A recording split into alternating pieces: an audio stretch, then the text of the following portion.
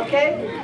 This is Cai, okay? In Chinese, Cai is a homonym for, ta, uh, for which is prosperity, money, wealth. And then so they throw some of it to you before you didn't know what it was.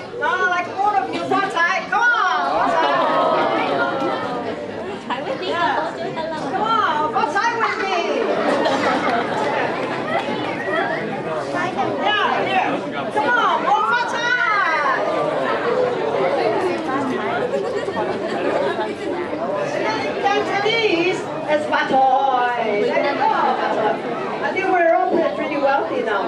See, if some of you move up and sit here in the empty seats, you would have caught more Thai. Come on.